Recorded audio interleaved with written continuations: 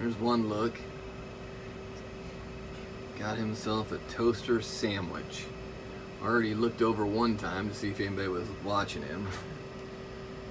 Now he's gonna go back into the store, which is what thieves do.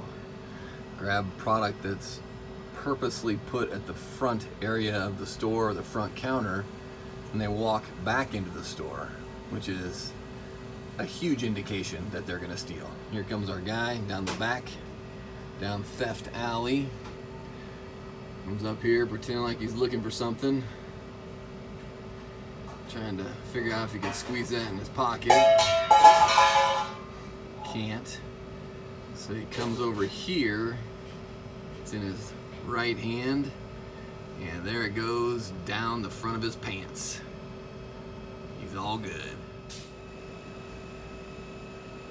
Stretching out his shirt. Guy's classic.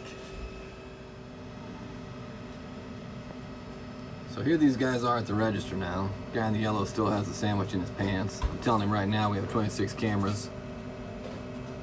Then I just shut up. And it's a stare down.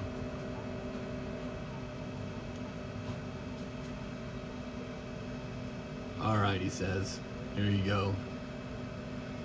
Tell him to get out. Tell his buddy to get out. It was actually his buddy's money, so I gave it back to him. Normally I don't. Feeling generous today.